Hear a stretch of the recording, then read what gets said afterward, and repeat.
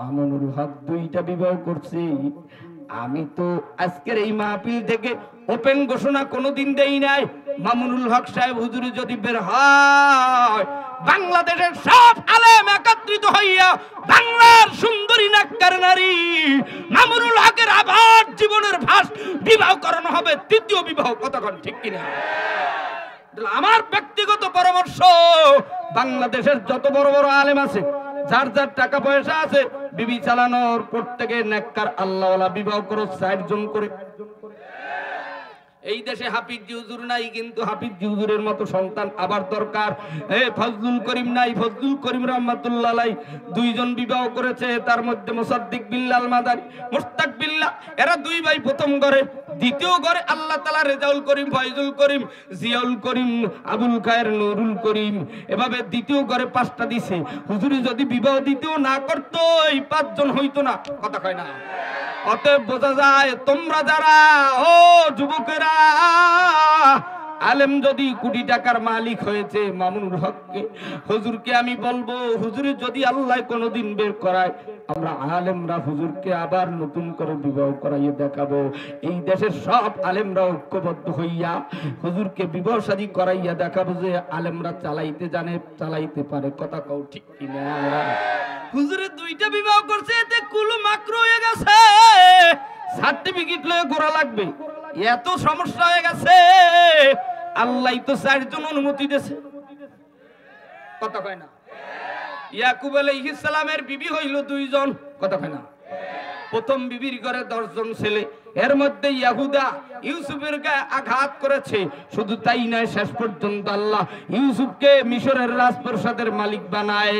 শুধু তাই না এই ক্ষমতার চেয়ার বিশ্বনবী মোহাম্মদ রাসূলুল্লাহ সাল্লাল্লাহু আলাইহি ওয়াসাল্লাম, এই পৃথিবীর জমিনকে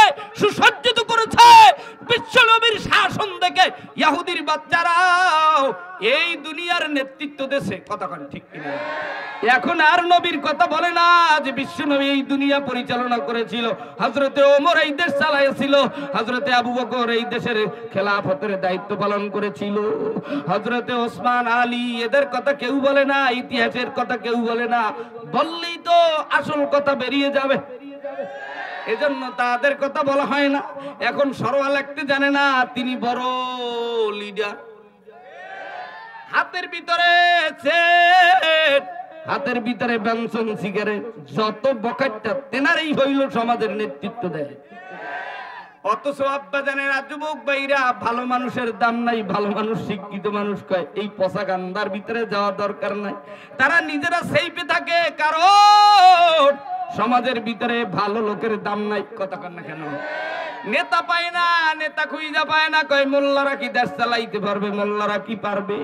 একবার দিয়ে দেখো, ইউসুফ আলাইহিসসালাম যদি মিশরের রাজপ্রসাদের মালিক হতে পারে, বিশ্ব নবী যদি এই দুনিয়ার প্রেসিডেন্ট হতে পারে, ওমর যদি এই দুনিয়ার প্রেসিডেন্ট হতে পারে আবার এই পৃথিবীর ভিতরে ঈসা আলাইহিস সালাম আসবে বিশ্ব নবীর উম্মতরা ঈসাকে নেতা মানবে ইহুদির বাচ্চারা ওই দাজ্জাল কানা দাজ্জালকে নেতা মানবে মুসলমান তৈয়ার হও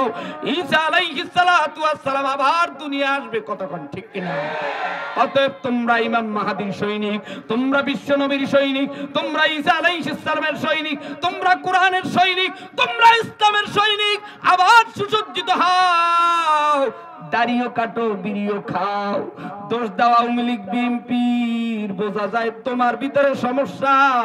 আমরা বক্তা হতে পারি না, আমরা আলেম হতে পারি নাই। আমার বাবাও তো নৌকা নিয়ে ঘুরছে, আমার দাদাও তো নৌকা নিয়ে ঘুরেছে। আমি তো সেটাই জেন্দা থেকে দেখেছি। এখন না চরমনার হাত টাকা নিয়ে ঘোরে।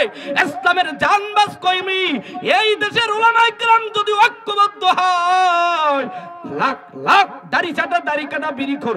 এই দল, এই দলের লোক আবার ইসলামের ছায়া আসবে, কথা কও ঠিক কিনা?